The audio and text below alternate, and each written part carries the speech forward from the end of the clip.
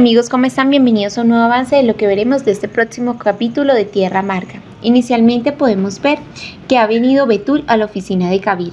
Ella trae consigo la noticia sobre lo que ha salido de la doctora Umid Karaman. Lo que vemos es que por parte de Kabir le dice a Betul que ella puede estar tranquila, que realmente se va a hacer justicia. Vemos que Betul le cuenta la conversación que escuchó donde Zuleya confesó que había sido ella la que había asesinado a la doctora Umid. Por lo tanto, vemos que Kabir le dice a Betul que debería de ir a la oficina del fiscal y contar toda la verdad.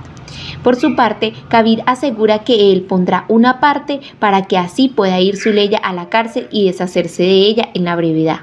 Lo que vemos es que Kabir, al salir Betul de su negocio, le dice que confíe en él y que pronto, de lo que ella piensa, ya estará Zuleya tras las rejas. Mientras que Kabir va a su despacho, saca el arma y se la entrega a uno de sus hombres para que la lleve directamente donde el fiscal. Lo que podemos ver es que por parte de Zuleya habla con Mehmet. Ella, que realmente en este momento está tan confundida, asegura que después de haber visto a Ulya se dio cuenta que realmente el dolor que causó su esposo en esta mujer fue bastante grande. Por lo tanto, hoy en día puede entender la rabia que siente Hakan Musoglo y por la razón que se quiere vengar de ellos. Mientras que vemos que el fiscal recibió el arma. No se sabe de dónde vino, pues fue algo incógnito.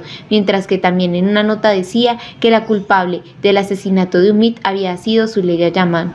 Todos en el pueblo empiezan a comentarlo y Gafur escucha esta conversación, algo que lo deja asustado y se va directamente a la casa Yaman y empieza a gritar lo que ha escuchado. Zuleya sale y escucha de parte de Gafur que han encontrado el arma homicida y que las huellas están las de ella.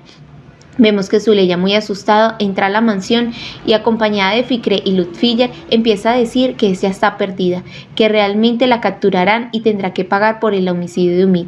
Fikre se le ocurre que Zuleya debe tomar a los niños e irse a Inglaterra. Lo que vemos es que Lutfiller asegura que no es la mejor decisión, tienen que esperar realmente para saber qué es lo que va a pasar. Asegura que Zuleya no se podría ir sola con los niños.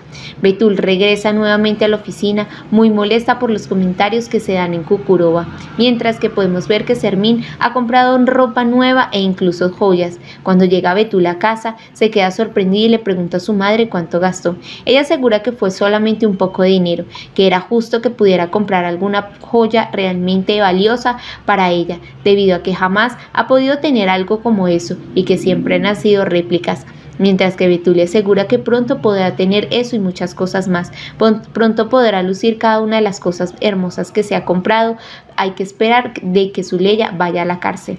Betul recibe la llamada de Adud Kair a su casa, donde éste le asegura que no juegue con él y que tiene que ir directamente con el fiscal debido a que él ya hizo su parte. Ella dice que no podría hacer esto, pero Kabir, muy molesto, le asegura que ella no lo conoce y que no querría saber lo que él puede hacer si ella incumple su palabra. Así que por lo tanto Betul no le queda opción que tener que pensar en ir nuevamente donde el fiscal. Mientras que todo esto sucede, sin duda ha vuelto Mehmet a encontrarse con Kabir y le dice que al parecer cumplió su promesa y esta es la razón por la que envió el arma homicida a donde el fiscal. Kabir asegura que lo hizo simplemente porque quieren deshacerse de Zuleya pero vemos que por parte de Mehmet le asegura a Kabir de que no sabe lo que ha hecho y que realmente no le gustaría tenerlo a él como enemigo en absoluto, pues sabe perfectamente que ellos dos tienen una alianza, él sería los pies y eh, Hakan sería el cerebro. Por lo tanto, él no se querría quedar sin sus pies y Kabir no quería quedarse sin su cerebro, por lo que le asegura a Hakan que va a hacer todo lo posible para demostrarle que con él ah, no se puede meter. Mientras que vemos que la policía ha ido a buscar a Zuleya a su casa, le pide que por favor por favor los acompañe a hablar con el fiscal, mientras que Betul también fue debido a la presión que le hizo Kabir. Cuando entra a la oficina y empieza a intentar hablar con el fiscal, este recibe las pruebas de balística del arma y de huellas, donde lo que, podemos ver es que le pide a Betul un poco de tiempo. Mientras que Zuleya llega al lugar donde es la fiscalía, vemos que Fikre le asegura que estará con ella acompañándola. Sermín llega a la mansión Yaman y sin duda la discusión nuevamente con Sanille debido a que Sanille sabe perfectamente las intenciones que tiene Sermín y que disfruta de lo que le está pasando a Zuleya. En el momento en el que vuelve nuevamente el fiscal le da la noticia a Betul que el arma no tenía las huellas de Zuleya Yaman y también le dice a Betul que puede estar tranquila porque ella no irá a la cárcel. Está segura estar un poco más tranquila, pero el fiscal le pregunta a qué se debía la visita de ella. Está segura que vino simplemente porque quería que se hiciera justicia en el caso de Umid. El fiscal le pregunta si realmente por esa fue la razón que pidió verlo. Así que Betul tiene que inventar diciendo que está segura de que quien asesinó a Umid fue su primo Demir Yaman. Mientras que pasa todo esto, el fiscal sale y le cuenta a Zuleya lo que ha pasado. Le dice que el arma homicida no tenía sus huellas, mientras que Fikre asegura que después de que decían llevarse a una mujer detenida delante de sus hijos, deberían de verificar primero las pruebas que tiene. Mientras que todo esto pasa, Zuleya le asegura al fiscal que todo esto es obra de Hakango Musoglu. Mehmet también se encontraba allí escuchando las palabras que decía Zuleya.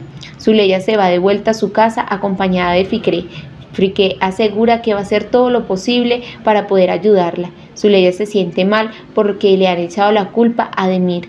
Vemos que Fikre le pregunta a Zuleya si todavía ama a Demir.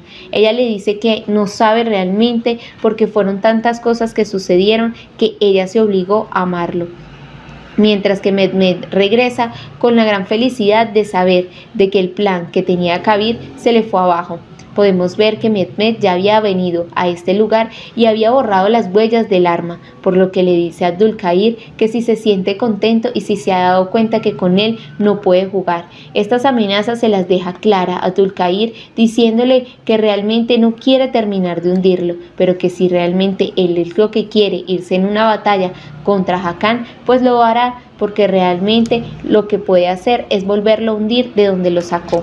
Esas son las amenazas que le hace Hakan a Kabir, mientras que podemos ver que después llega a la mansión nuevamente Zuleya y es recibida por todo su personal y también por toda su familia. Vemos que todos están muy contentos por el regreso de la gran señora, mientras que vemos que por parte de Betul le pide a Fikre que necesita hablar a solas con él. Vemos que Betul y Fikre se encuentran en la pequeña mansión donde Betul le cuenta a Fikre lo que ha notado de Hakan Musoglo Mehmet, que este dará 20 millones de dólares por la pérdida que tuvieron. Este pregunta a cambio de qué y Betul asegura que él no quiere a cambio nada, pero que realmente le preocupa sus intenciones. Fikre se preocupa y empieza a pensar de qué forma poder ayudar a Zuleya con la situación que está atravesando. Mientras que todo esto sucede, pues sin duda alguna, Zuleya nuevamente se reencuentra con sus hijos que tanta falta le han hecho en el corto periodo que tuvo que irse a la fiscalía y por parte de Hakan le deja claro a Kabir de que no va a seguir soportando más sus amenazas. Si realmente quiere jugar este juego, él lo enseñará una vez más. Así con esto finalizamos. Adiós.